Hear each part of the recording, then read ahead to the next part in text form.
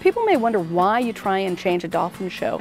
Um, it's important for us to have the message continue to be timely. Our new Dolphin Show's theme is Our Ocean Planet. What our goal is is to teach the audience um, about the ocean planet and the animals that live in it. The development of the new show started two to three years ago with formulating ideas, getting the whole general picture behind it, and then writing the script, which we didn't have quite as much to do with. We just started doing the memorizing and performing end. To create the Dolphin Show, it takes an entire team. The um, trainers are involved with the animal behaviors, the education staff are involved with the content, our audiovisual department is involved with all the filming. Even folks in visitor services who look at the line that forms outside for the show and how we bring people in. Um, all of those things are important because you want it to be a smooth show from the beginning until the very end. On our side, it takes about, it, it, takes a lot of training of the dolphins. So it takes about two years to train all the behaviors. Then we also have a lot of new sound, a lot of new video, a lot of new music that needs to go into the show planning. Once the script is finished and the behaviors are determined, we then move into the really difficult process, which is the rehearsal process. Some of the rehearsals are pretty funny. Um, some of them are uh, right on the money, and that's what we're really going for. So yeah. move a little slower. Right. We want to get it up to 23, 24 minutes.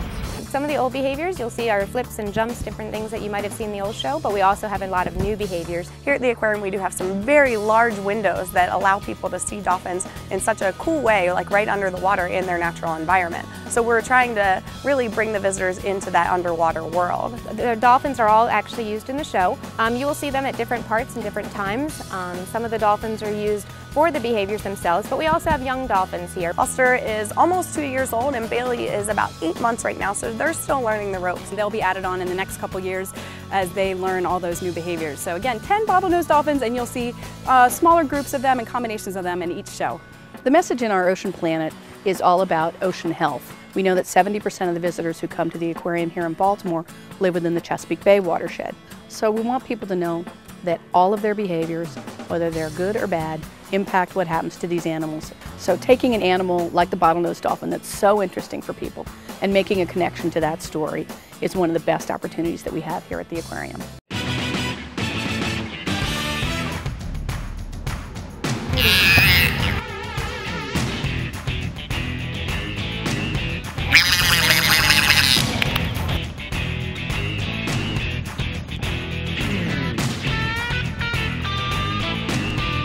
Come visit the National Aquarium and celebrate our ocean planet.